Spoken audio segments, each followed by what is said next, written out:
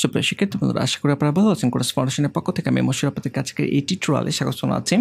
তো আজকে হচ্ছে ওয়ার্ডপ্রেস টিউটোরিয়াল সিরিজের পার্ট টু তো এই পর্বে আমরা সার্ভার নিয়ে বিস্তারিত আলোচনা করব। কারণ হচ্ছে ওয়ার্ডপ্রেস নিয়ে যদি আপনি কাজ করতে যান, তাহলে অবশ্যই আপনাকে সার্ভার ব্যবহার করতে হবে ওকে তো এখানে আপনারা দেখতে পাচ্ছেন যে একটি ফাইল আমি অলরেডি ক্রিয়েট করে রেখেছি নোট ডট টিএক্সটি নামে। আমি এই ফাইলটি ওপেন করতেছি। তো সার্ভার দুই ধরনের হয়। একটি হচ্ছে লাইভ সার্ভার লাইভ সার্ভার আরেকটি হচ্ছে লোকাল সার্ভার ওকে তো প্রথমেই আমি লাইভ সার্ভার নিয়ে আলোচনা করতেছি। এখানে মজিলা ফায়ারফক্স ব্রাউজার আমি ওপেন করতেছি। তো আপনারা দেখতে পাচ্ছেন যে আমাদের official website course foundation dot com already open করে রাখা হয়েছে। তো এই ওয়েবসাইটটা কিন্তু লাইভ সার্ভারে সেট করে রাখা হয়েছে, যার কারণেই পৃথিবীর যে কোনো প্রান্ত থেকে মানুষজন কিন্তু এই ওয়েবসাইটটি ভিজিট করতে পারে। আপনারা অলরেডি জানেন যে কোরাস ফাউন্ডেশন ডট কম, এটি হচ্ছে ডোমেন আর এর ভিতরে যে কন্টেন্টগুলো আপনারা দেখতে পাচ্ছেন, এই কন্টেন্টগুলো রাখা হয়েছে হচ্ছে, যে স্পেসটাতে ওই স্পেসটাকে বলা হয় হচ্ছে হোস্টিং তার মানে হচ্ছে ডোমেন এবং হোস্টিং পারচেস করে দেন আমাদের একটি ওয়েবসাইট তৈরি করতে হয়। ওকে তো এই ডোমেন এবং হোস্টিং বিভিন্ন কোম্পানি থেকে আপনি পারচেস করতে পারেন। অসংখ্য প্রোভাইডার রয়েছে। একটি প্রোভাইডার হচ্ছে Namecheap dot com Namecheap dot com ছাড়াও আরও অসংখ্য প্রোভাইডার রয়েছে যারা ডোমেন এবং হোস্টিং প্রোভাইড করে থাকেন ওকে তো এইসব কোম্পানি থেকে ডোমেন এবং হোস্টিং পারচেস করে দেন ওয়েবসাইটকে লাইভ করতে হয়, ঠিক আছে? তো যেহেতু আপনারা এখন ওয়ার্ডপ্রেস শিখবেন ডোমেন এবং হোস্টিং ইনিশিয়ালি পারচেস করার কোনো প্রয়োজন নেই। লাইভ সার্ভারের পরিবর্তে আমরা কাজ শেখার জন্য লোকাল সার্ভার ব্যবহার করতে পারব। ওকে তো ইন ফিউচারে যখন আপনারা কাজ শিখে যাবেন যখন ইন্টারন্যাশনাল মার্কেট প্লেসগুলোতে কাজ করবেন, তখন কিন্তু আপনাকে লাইভ সার্ভারে কাজ করতে হবে। তো আমরা এই টিউটোরিয়াল সিরিজটিতে লাইভ সার্ভার এবং লোকাল সার্ভার দুইটিই দেখব। দুইটাতেই কীভাবে কাজ করতে হয় আমরা ব্রিফলি দেখব।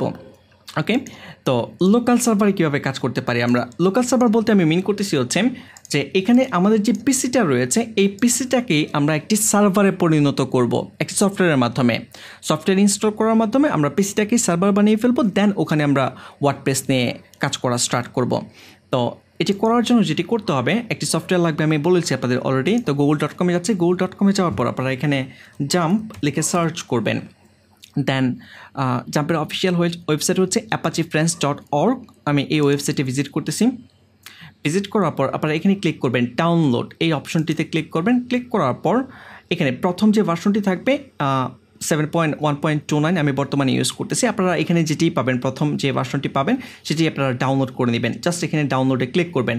ডাউনলোডে ক্লিক করার পর অটোমেটিকলি ডাউনলোড স্টার্ট হয়ে যাবে। এই যে ডাউনলোডে আমি ক্লিক করলাম, আমাকে ফাইল দিয়ে দিয়েছে। স্টার্ট ডাউনলোডে স্টার্ট ডাউনলোডে ক্লিক করলেই এটি ডাউনলোড হয়ে যাবে। ফাইল সাইজ হচ্ছে একশো, একচল্লিশ দশমিক সেভেন ফাইভ মেগাবাইট ওকে যাই হোক আমি এখানে ক্যান্সেল করে দিচ্ছি। আমার অলরেডি ডাউনলোড করে রাখা রয়েছে।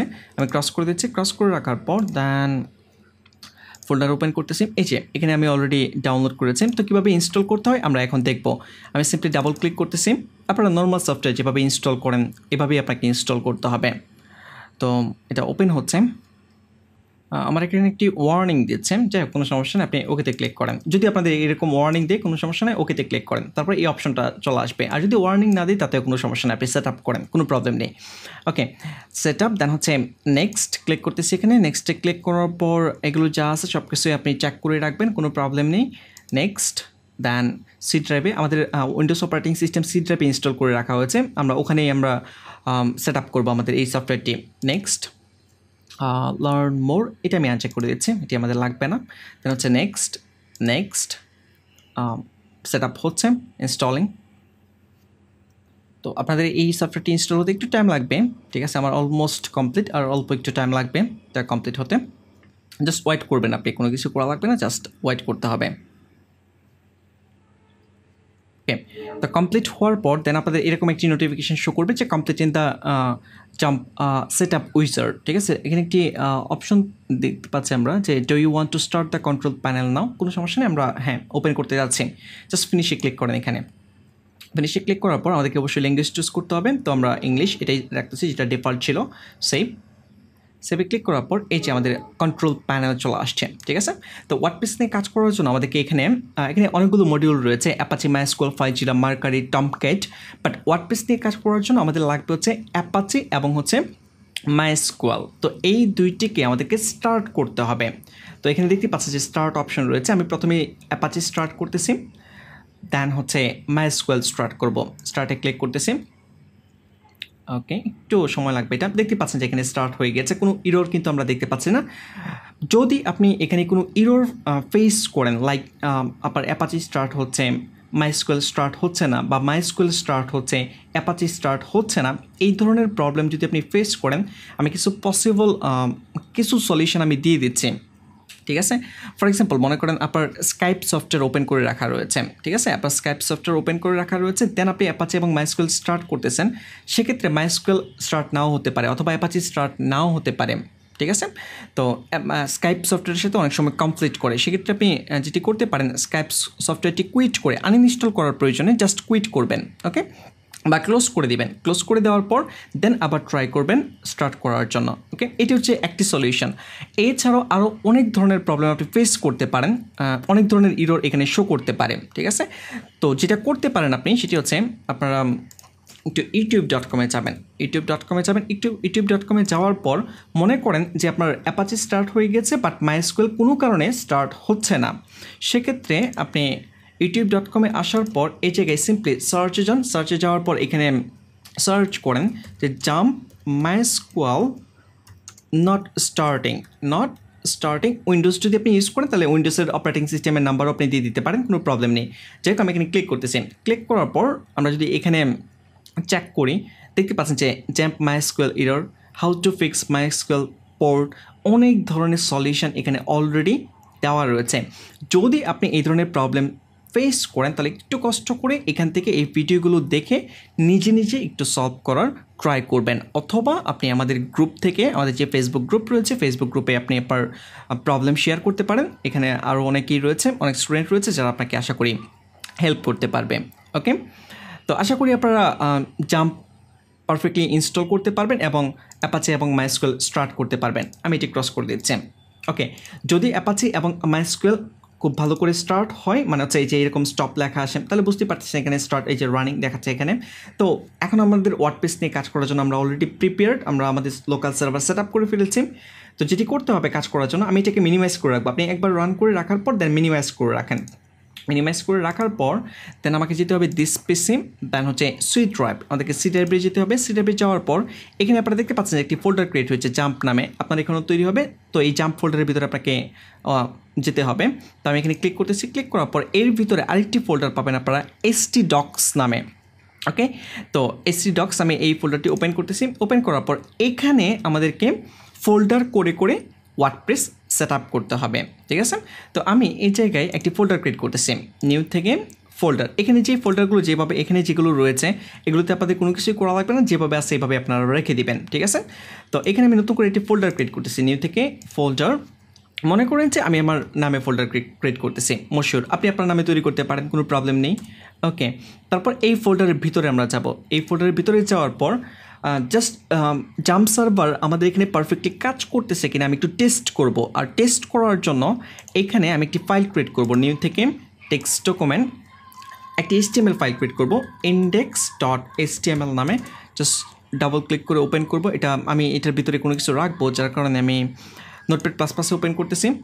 নোটপ্যাড প্লাস প্লাসে ওপেন করার পর দেন হচ্ছে এখানে জাস্ট আমি কোনো কিছুই রাখতেছি না জাস্ট হ্যালো ঠিক আছে? এই লেখাটাই আমি রাখতেছি দেন ক্রস করে দিচ্ছি।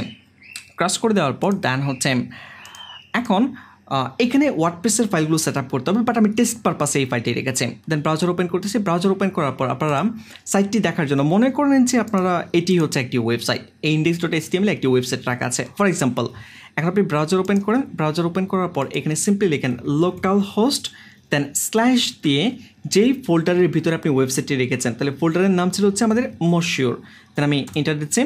ইন্টার দেওয়ার পর দেখতে পাচ্ছেন যে এখানে হ্যালো লেখাটি কিন্তু শো করতেছে। তার মানে হচ্ছে মশিউরের ভিতরে ইন্ডেক্স ফাইল থেকে অটোমেটিকলি জেনারেট হয়ে তার আউটপুট কিন্তু এখানে দেখাচ্ছে। ঠিক আছে?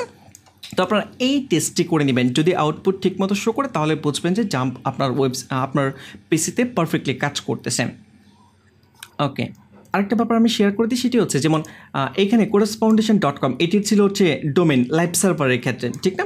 তো এখানে যে লোকাল হোস্ট স্ল্যাশ মশিওর এইটি একটি ডোমেন হিসেবেই কাজ করতেছে।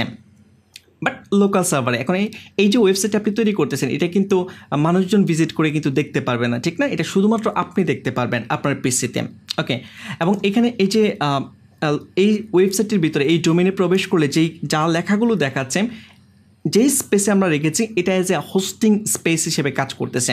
তো আমাদের এই যে, এই স্পেসটা মশিউরের ভিতরে, এই যে স্পেসটা বা মশিউর ফোল্ডারটি যেখানে রেখেছি, এই স্পেসটাই অ্যাজ এ একটি হোস্টিং হিসেবে কাজ করতেছে। আশা করি আপনারা কনসেপ্টটি ক্লিয়ার হয়েছে ওকে তো আমাদের জাম সার্ভার রেডি হয়ে গিয়েছে। নেক্সট টিটু নেক্সট টিউটোরিয়ালে আমরা ওয়ার্ডপ্রেস নিয়ে কীভাবে কাজ করতে হয়, এই ব্যাপারগুলো আলোচনা করব। আর যেহেতু আমি Mac OS operating system use করব, সেক্ষেত্রে এর পরবর্তী টিউটোরিয়ালটিতে আমরা দেখব যে ম্যাকে কীভাবে আপনি জাম্প ব্যবহার করতে পারবেন। এরপর থেকে আমরা কাজ করা স্টার্ট করব ওকে তো আপনি যদি উইন্ডোজ অপারেটিং সিস্টেম ইউজ করেন, তাহলে নেক্সট যে টিউটোরিয়ালটি রয়েছে, এটা আপনি স্কিপ করতে পারেন। পরবর্তী টিউটোরিয়ালে আপনি চলে যাবেন। আর যদি আপনি ম্যাক ইউজ করেন বা আইম্যাক ইউজ করেন, সেক্ষেত্রে আপনি পরবর্তী টিউটোরিয়াল দেখেন কীভাবে জাম্প ইনস্টল করতে হবে। এরপর আপনি ওয়ার্ডপ্রেস কীভাবে ইনস্টল করতে হয়, এই প্রসেসগুলোতে আমরা আসব। তো আজকে টিউটোরিয়াল এই পর্যন্তই। নেক্সট টিউটোরিয়ালে আমরা অন্যান্য বিষয় নিয়ে আলোচনা করব। সে পর্যন্ত ভালো থাকবেন। ধন্যবাদ।